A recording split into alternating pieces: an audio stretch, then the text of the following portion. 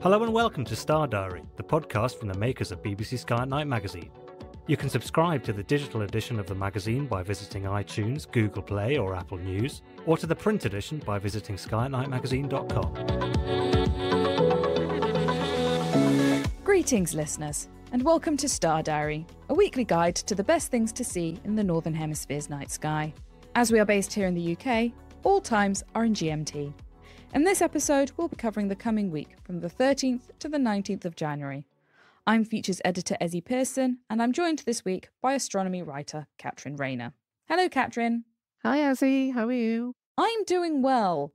So let us know what do we have to look forward to in this week's night sky?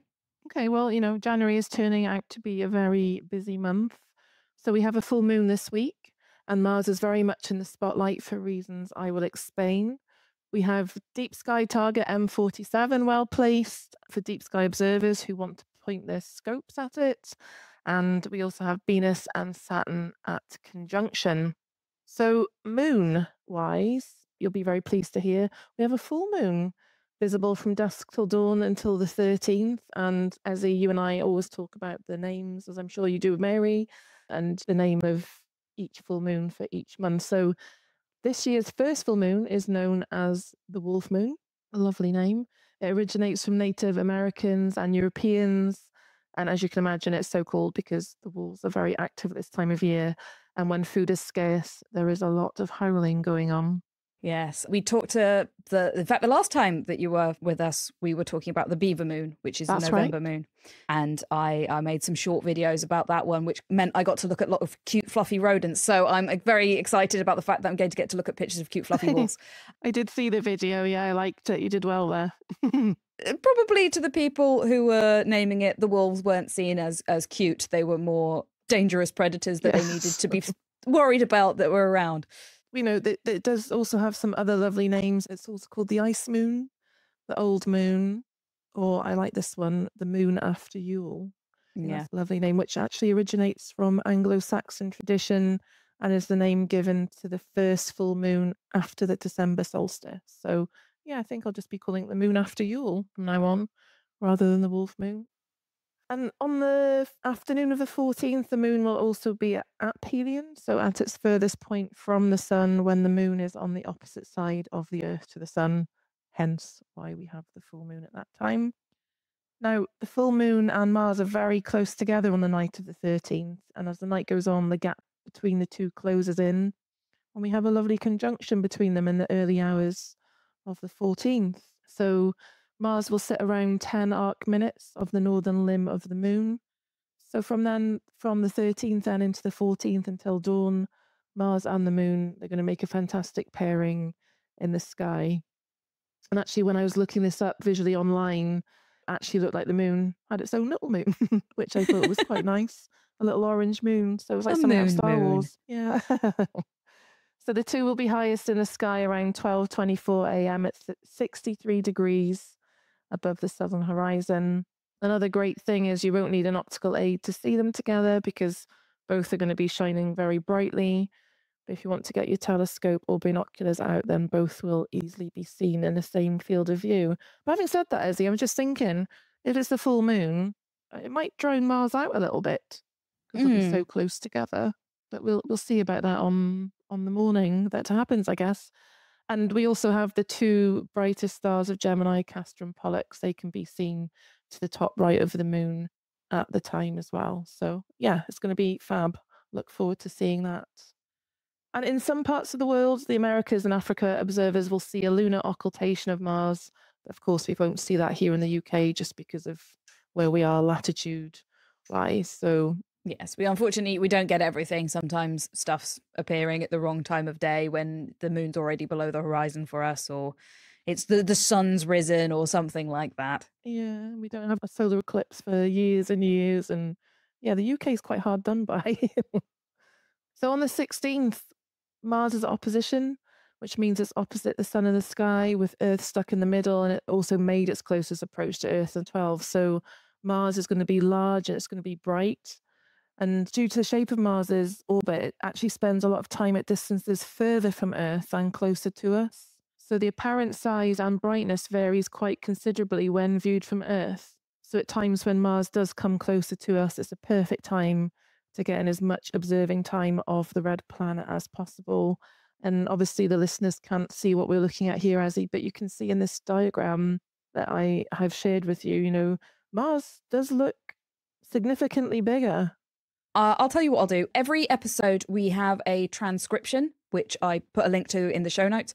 I will drop that image into the the transcription so if people would like to see it because you can very clearly see that the apparent size of Mars on the night sky it, it really does get a lot smaller and a bigger and smaller at different times of year. Yes. Yeah, it's quite noticeable, isn't it? So you can see why people spend a lot of, you know, the weeks leading up to this happening and afterwards Uh, observing it and photographing it a lot. So yeah, it's fantastic. So Mars only reaches opposition once every two years. So this is another reason why people get excited about it. And, you know, this year Mars is well placed in the sky. And with medium to large telescopes, you can make out the polar ice caps and even dust storms. And when I was doing a bit of research, I came across a fantastic guide on the Sky at Night website about observing Mars tonight. Yes, as uh, I will find that as well and put that in the show notes as well. So if you want to find out how you can really get to grips with seeing Mars, then do go and check that out because it is a wonderful planet and there's a lot going on and you can see a surprising amount about it. People always talk about, you know, seeing Jupiter or Saturn through a telescope for the first time because you see the moons or Saturn's rings or, you know, the great red spot. But you can actually make out quite a surprising amount of detail on Mars as well.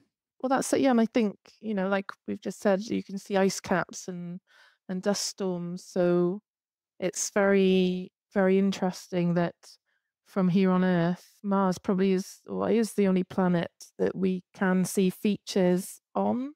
It's because the the only one one we might be able to see features on would be Venus, and we can't because it's covered in a ridiculously thick layer of atmosphere.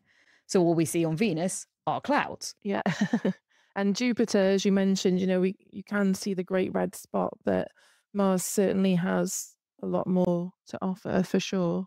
I think also because Mars is very Earth like in some ways, whilst being completely alien. And sometimes people do think that Mars is just this dead rock without much going on, but it it does have weather, it does have clouds and dust storms, and it's got these two ice caps, which do change with the seasons.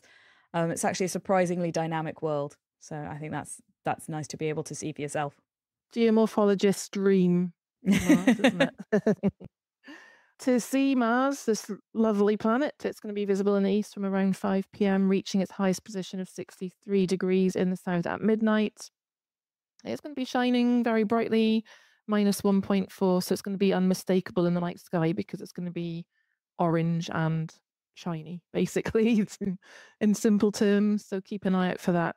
Then on the 18th, we have dazzling Venus and Saturn making a close approach and conjunction today. Both will be visible from around 5.15 in the south, sitting at an altitude of around 20 degrees. So Venus is still super, super bright, as it always is, really. It's minus 4.4, while Saturn will be much dimmer a magnitude of plus 1.1. And both are naked eye targets and will be visible until around 8.45 p.m when they have set or when they will set. And yet we have Jupiter, Uranus, and Neptune. They'll be visible all week as well. So lots of planets to keep an eye out for. And comet wise, well, you know, obviously Tsuchinshan Atlas, it's not a t- well, actually, I don't really know it's um what's happening with Tsuchinshan Atlas now, Ezzy I'm assuming it's kind of well disappearing now. Definitely well past its prime at this point. I think at this point we'll just have to bit of podcast magic for you. We do record these uh, slightly ahead of time, and comets are so unpredictable that with Tsuchinshan Atlas at this point. It's going to be hard to tell exactly what it's going to be visible at. We do have a running record of what's going on on our website. I'll again put a link to that in the show notes below. So if people do want to find out up to date information about that comet's going on, then we'll be on there. Thank you. Yeah, great. So on the 13th, I mean, I I didn't know too much about this comet, but Comet C 2024 G3 Atlas is at perihelion, so it's really close to the sun. And we can't see the comet at the moment because it's so close to the sun, around four degrees. And I also think it's not visible in the northern hemisphere. But what I found interesting was that sources online did suggest that this could become a bright comet in 2025. But as we know, and as you've just kind of said, some comets fragment as they pass close to the sun or they completely evaporate. Yeah, and also I was really interested to read that this comet may be paying the inner solar system a visit for the first time, which means there is a much higher risk of it disintegrating. The ones that tend to be the most spectacular do tend to be ones where it's they're visiting the solar system for the first time or so, almost the first time just because they haven't been around the sun 27,000 times and, and lost most of their ice and, and dust. It's it's that sort of first flush of of getting up close and personal with the sun and, and all of that evaporating away. But it does mean that it's they're quite hard to predict when they're going to arrive because we don't know that they're coming until they arrive because they've not been here before. This is it. You know, I did think that was quite interesting to read about. And as I mentioned, it has been predicted it could become a bright comet this year, but who knows? it could it could also just completely break up when it's going past the sun. I know, and that'd be a shame, wouldn't it? Because you know, as we've said, we had the excitement of Tsuchinshan Atlas, but since NEOWISE, really, there hasn't been too many naked eye comets. So yeah, we'll well, you know, we'll be talking about this, I'm sure, over the next few months. So keep an ear out to to find out what happened to to G3 Atlas. And on the 14th, just to close this episode, um, we have Open Star Cluster M47. It's a great target for deep sky observers over the next few weeks. And at midnight on the 14th, it's going to reach its highest point in the sky at an altitude of approximately 18 to 20 degrees. Again, this kind of will vary depending where you live.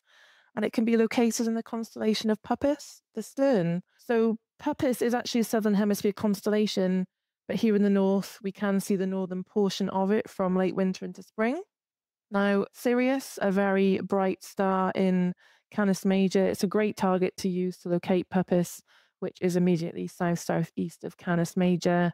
And um, M47 will be best viewed from just after 10 pm to 2 am on the southern horizon as it makes its way towards the southwestern horizon. So a magnitude of plus 4.4 is classed as a naked eye target, but it can be quite tricky to spot even in dark sky areas. But yeah, you can view the star cluster through binoculars or a small telescope. So a nice little challenge for everyone towards the end of the week if, if they want to go and look for something in the deep sky. Open star clusters, they can sometimes be there's like globular clusters which are really filled with stars and you're looking at them and they look kind of like a like a star explosion really. And open clusters are a bit as the name suggests they're a bit more open they're a bit more spread out but they are still wonderful things to to take a look at with your with your telescope. But thank you very much for taking us through all of that Katrin if you would like to hear even more stargazing highlights, please do subscribe to the Star Diary podcast, and we will be back here next week with even more. But to summarize this week again, the 13th of January sees the full moon, the wolf moon. Mars and the moon are going to be positioned very closely together at that time, so that'll be a great photo opportunity there. And Comet C 2024 G3 Atlas is at perihelion, so we'll have to see how that one measures up, whether or not we can have another really nice comet or whether it will all fall apart. On the 14th, we have a conjunction between the Moon and Mars, as well as a great opportunity to see open star cluster M47, which will be well positioned in the constellation of Puppis. On the 16th, Mars is going to be at opposition, where it will be opposite the Sun. And on the 18th, a dazzling Venus and Saturn will make a close approach as they will both be at conjunction. And throughout the week, Jupiter, Uranus, and Neptune will all be visible. So lots of great things to see out there in the night sky. Hopefully, you'll manage to get some really good observing in, and we'll see you back here next week. From all of us here at Star Diary, goodbye. If you want to find out even more spectacular sights that will be gracing the night sky this month, be sure to pick up a copy of BBC Sky at Night magazine, where we have a 16 page pull out sky guide with a full overview of everything worth looking up for throughout the whole month. Whether you like to look at the moon, the planets, or the deep sky, whether you use binoculars, telescopes, or neither, our Sky Guide has got you covered, with detailed star charts to help you track your way across the night sky. From all of us here at BBC Sky at Night magazine, goodbye. Thank you for listening to this episode of the Star Diary podcast from the makers of BBC Sky at Night magazine. For more of our podcasts, visit our website at skyatnightmagazine.com slash podcasts or head to Spotify, iTunes or your favourite podcast player.